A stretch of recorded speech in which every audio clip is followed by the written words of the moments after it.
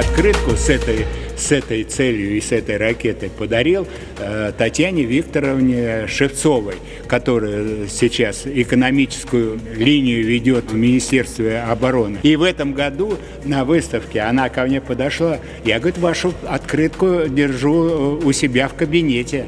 Она у меня как молитва. Виктор Павлович Михеев с гордостью демонстрирует 48Н6Е3 – зенитную управляемую ракету, которая поражает цель на дальности до 250 километров.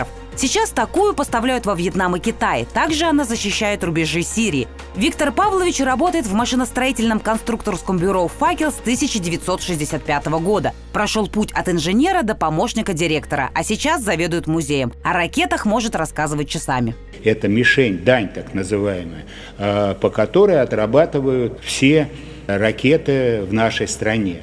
Значит, она дозвуковая, скорость у нее порядка 350 километров в час. Она летит по кругу, совершая полет э, змейкой. Именно на этой мишени испытывали ракеты 9М-96, которые тоже представлены в музее. Обычно такие мишени запускают до 10 раз, но конкретно с этой произошел беспрецедентный случай. Первый запуск и сразу же прямое попадание. Вы сами понимаете, цена ее 20 миллионов, и все предприятие удивительно радовалось, вот прямое попадание, что вообще бывает.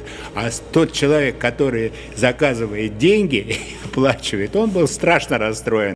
МКБ «Факел» – первое в стране предприятие по созданию зенитных управляемых ракет. Созданные здесь системы приняли на вооружение армий 49 стран мира. С момента своего создания сотрудники «Факела» создали ракеты для таких известных во всем мире комплексов, как «Оса», С-75, С-300, «Триумф» и многих других. Познакомиться с продукцией предприятия пришли депутат Госдумы Ирина Роднина и председатель Совета депутатов Александр Дринов. Когда говорят ракеты, которые сбили «Пауэрс», Слушайте, вся Москва, я помню себя еще, вот я училась в школе в начальных классах, мы все ходили на Манежную площадь, это была громадная, самая большая площадь в Москве, и смотрели останки этого самолета. Это было для всех огромное впечатление. Речь о событии, которое произошло 1 мая 1960 года. В небе над Свердловской областью был сбит американский самолет-разведчик Q-2, который пилотировал Фрэнсис Гэри Пауэрс. Удар по его машине стал первым успешным перехватом, который который совершили советские зенички. Ю-2 поразила ракета новейшего на тот момент зенитного ракетного комплекса С-75, разработанной в «Факеле». Наука, которая воплощенная в металл, воплощенная в решение конкретной задачи.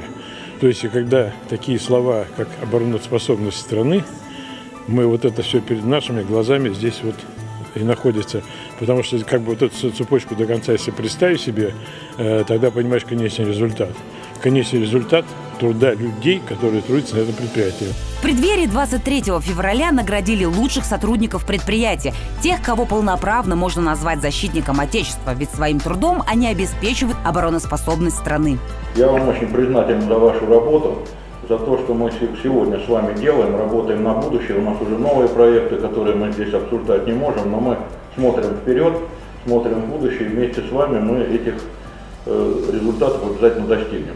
Ирина Роднина вручила благодарственное письмо депутата Госдумы. Александр Дринов также отметил вклад в науку работников «Факела». Не остались в стороне и сотрудники Химкинской торгово-промышленной палаты. Несмотря на то, что вы являетесь военнослужащими, не носите погон, праздник 23 э, февраля, День защитника Отечества, это ваш профессиональный праздник. Спасибо за ваш труд. Факелу почти 70 лет. Имея богатую историю, предприятие по-прежнему не знает себе равных в своей сфере. Его продукция пользуется большим спросом и авторитетом на международных выставках, опережая время и мировую техническую мысль. Ксения Брагина, Алексей Сыченко. Специально для Химки ТВ.